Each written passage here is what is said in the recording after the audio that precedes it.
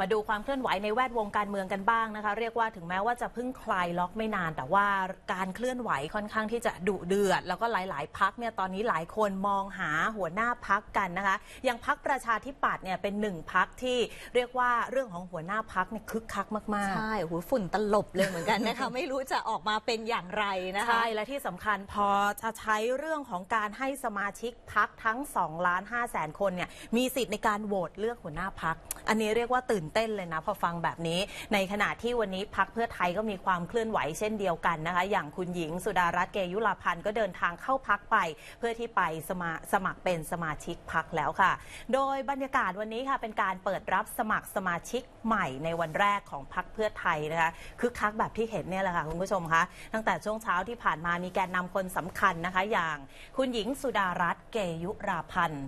แล้วก็มี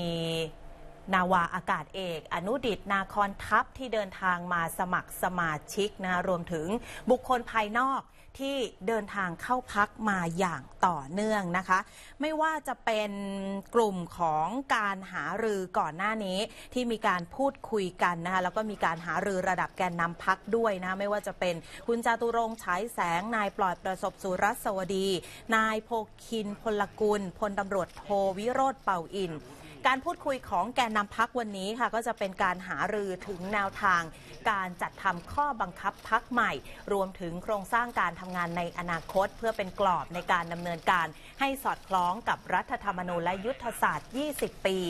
ทางด้านของนายภูมิธรรมเวชยชัยรักษาการเลขาธิการพักเพื่อไทยนะคะก็บอกว่า การนัดหารือวันนี้เนี่ยไม่ใช่การเช็คชื่อนะคะเพราะว่าเชื่อว่าสมาชิกทุกคนยังคงรัก แล้วก็ต้องทำต้องการทำงานร่วมกัน ซึ่งยังมีเวลาในการแสดงความจำนงเป็นสมาชิกพักไปจนถึงวันที่ 3 ตุลาคม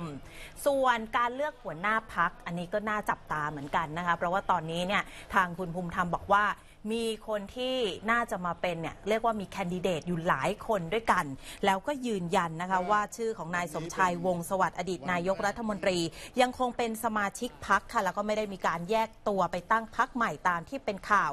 ทางด้านของนายโพคินพลกุลปฏิเสธการพูดคุยนะคะเพื่อร่วมงานกับนายอภิสิทธิ์เวชชาชีวะ เป็นเพียงการพบปะระหว่างการไปร่วมประชุมเท่านั้น ส่วนในอนาคตผู้สื่อข่าวถามว่าจะทำยังไงต่อไป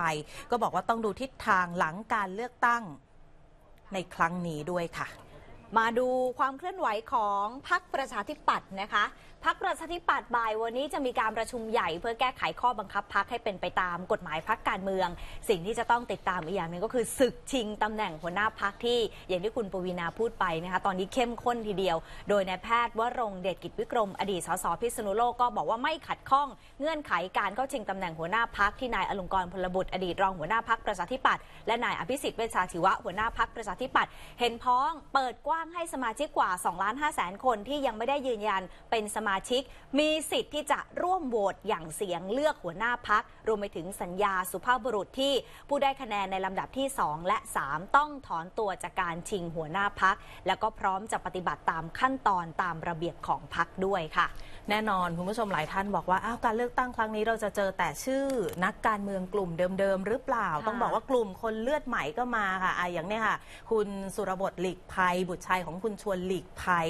ประธานสภาที่ปรึกษาพักประชาธิปัตย์วันนี้เขาก็เดินทางมาที่พักด้วยเช่นเดียวกันนะคะ ซึ่งก็มาสมัครเป็นสมาชิกพักค่ะ แล้วก็พูดถึงความตั้งใจการทำงานด้านการเมือง บอกว่าที่อยากเข้ามาเนี่ยเพราะว่าอยากจะมาหยุดความขัดแย้ง และไม่ได้คาดหวังเรื่องของการลงสมัครสอสอแต่พร้อมที่จะช่วยงานที่ถนัด โดยเฉพาะการสื่อสารไปถึงวัยรุ่น ให้มีความเข้าใจเรื่องการเมืองมากยิ่งขึ้นรวมถึงการสร้างความเข้าใจกับการเมืองรุ่นเก่าและรุ่นใหม่ค่ะ